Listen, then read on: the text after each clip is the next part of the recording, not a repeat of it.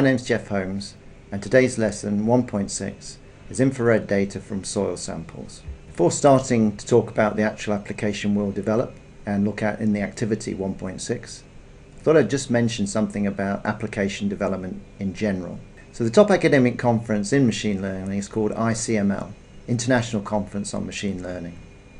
This is where all the top people in the field present their work. Now in 2012, a paper was published at this conference which was something of a wake-up call to the machine learning community. The author was Kiri Wagstaff from the Jet Propulsion Lab in Pasadena, California, and the paper, which is accessible to anyone with an interest in machine learning, is called Machine Learning That Matters. And the URL there on the slide will enable you to download it and read it. So what the paper does is it kind of points out that the field is focusing too much on new methods and on the accuracy of those methods and less on the kind of application that will really make a difference. So what Kiri did was to suggest six challenges for machine learning applications. I'm not going to go through all the six that are listed there on the slide, but I just want to talk about the highlighted one, $100 million saved through improved decision making provided by an ML system. Now, believe it or not, you can develop an ML system using near-infrared data on soil samples that will be something that could save $100 million. So this lesson's a starting point for such a system, but it is possible. Now before we do that, let's just take a moment to think about what machine learning requires in order for us to develop an application of any kind. Well, it needs input and output in its training phase. So in our case, we need a set of samples. Those are going to be soil samples in some form, and you'll see that in, in a while. And an output target value. In our case, this is going to be a real valued number and will represent a property of interest of the soil. So that could be organic carbon, organic nitrogen, available nitrogen, potassium, something that we're interested in predicting from the input. And our problem, of course, is to learn a mapping that describes the relationship between the input and the output. And we refer to this mapping as a model. We build the model on our training data and then we use that model on unseen observations, so new soil if you like, in order to, we apply the model to the new soil in order to, for it to predict the target or soil property of that soil that we're interested in, such as the organic carbon. Okay, so now we need to think about where we're going to get X and Y from for this particular application. Now, traditionally soil samples are processed using techniques called wet chemistry techniques.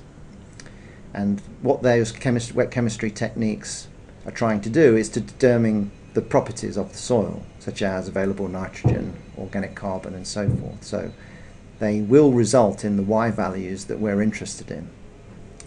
So what we need for this application is for a number of samples to have been processed using wet chemistry to determine these Y values for us. So let's say we're interested in available nitrogen. We need, let's say, 50 or 100 different soil samples to have been processed using wet chemistry to produce 50 to 100 Y values.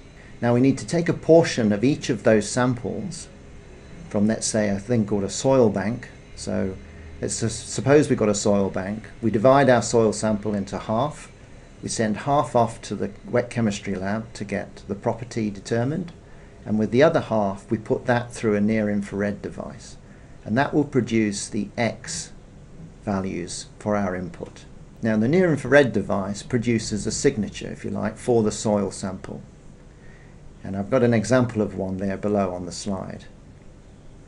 So these values will form the input. In the sense of an ARFF file, they represent the values or reflectance values for a given wavelength band.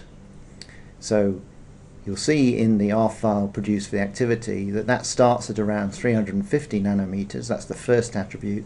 The next one might be 370 nanometers, 390 or 80, 90, 400, 410, and so on. So the number of attributes we have is, as you'll see in the example, is something like 200 um, for each of those spectral uh, wavelength bands, and then the values are um, numeric values, which which are the amplitudes, if you like, of the spectrum, uh, but just the reflectance values that you get from the device. So as I said, you need a few hundred samples. So it's not cheap because you've got to send off whatever you number of samples you've got. It's very cheap to get the X, but it's expensive to get the Y because you've got to send those off for wet chemistry analysis. So to put together a decent training set is expensive. So given that, why would you bother doing that for this particular for, for the soil and this particular application? Well, once you've let's say you've got your 50 to 100 samples and you've built your model, then if a farmer comes in with a new soil sample and says, I want to know what the available nitrogen is, we just get out our available nitrogen model that we've built and we get the NIR spectra for that new sample and then so that represents new x, if you like. We run it through the model and it will produce an estimate of y for that soil signature. So we'll be able to tell the farmer for your soil sample the available nitrogen is 4.3 or whatever the, that y that estimate estimated y value is. So instead of days for the wet chemistry to take place, we're talking about milliseconds for the NIR device to produce the signature for us to run through the model and get the estimate of y. So that's the first thing that makes it useful. It's very fast. Second thing that makes it useful is that we can produce for the same input, if we've got enough models, an estimate for a number of soil properties, not just one. So if we've got, for example, wet chemistry which has determined the potassium, the available nitrogen, the organic carbon, the organic nitrogen, and so on, then we can build models for each of those. And for the same X value, we can produce predictions for each of those soil properties. So we can tell the farmer with the soil sample in very short order, of the order of milliseconds, what the values are for each of those soil properties. All right, so that's the value of it. How do we actually go about doing the modeling? With a training set, remember, let's imagine it's an ARFF file. The rightmost column, or the, the class column, would be a numeric set of numeric values. So we're talking about a regression problem. And then the attributes are all these reflectance values at various wavelengths. So they're all numeric values as well. So we've got X numeric values and so is Y. The classifiers of interest are things such as linear regression, REPTree, the model tree, M5 prime, random forest, support vector machine regression, Gaussian processes, and so on. So what I've done there is lined up the algorithms in terms of really their processing speed. What you'll do in the activity is you'll process the data using the first four because you'll see that it's quite a large data set and the other two uh, take too long really to be useful in the activity. But we'll be saying more about that later. The big thing message though of the activity is that pre-processing can make a big difference to a classifier's performance. So what the activity will basically take you through is establishing a benchmark just using the classifiers on a on raw data and then using various pre-processing techniques and seeing whether or not the classifiers improve on the data sets produced after pre-processing. So in, typically for near-infrared data, the kinds of things you can do to pre-process it are to downsample the data, to remove baseline effects, and to smooth the spectrum. And you'll be doing all three of those and combinations of those three in the activity.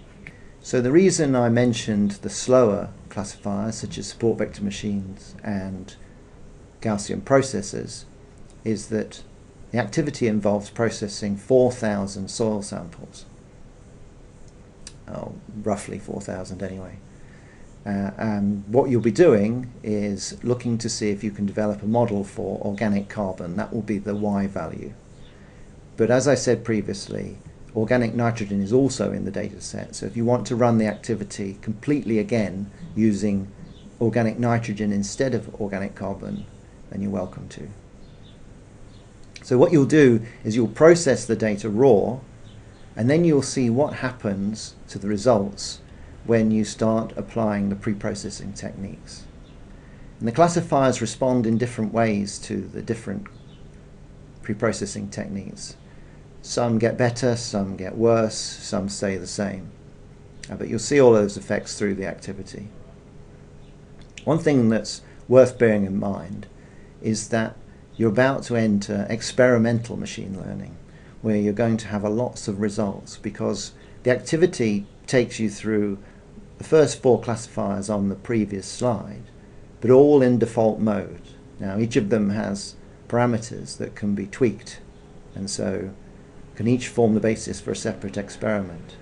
And you'll be using four pre-processing methods, one of which is to do nothing, just use the raw spectra. Now some of those methods themselves have parameters as well. And of course you can combine the pre-processing methods as well. So the space of experiments is extremely large. And from all of that, you'll be able to produce some pretty good results. Now what you'll be looking at is particularly the correlation coefficient. So how well does the predicted value match the um, known value from the training data using cross-validation. So that will give you some idea of how close you are. And what you want, of course, is to produce models that get you close to 1.0, a perfect correlation with what you've seen in training data previously.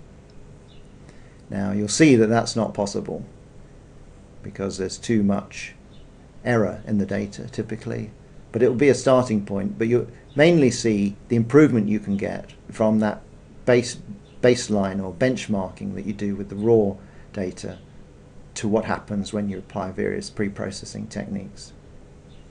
So I hope you enjoy that and I hope it whets your appetite for machine learning application development.